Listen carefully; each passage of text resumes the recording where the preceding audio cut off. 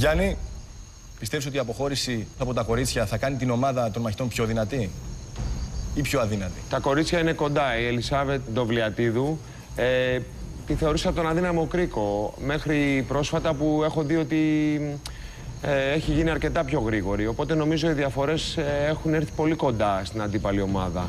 Θα κράταγα τη Δοβλιατίδου γιατί αν έρθει στην ομάδα μου, επειδή είναι ψηλή θα μου ταιριάζει στα πλάνα. Θα έχουμε ωραία πλάνα.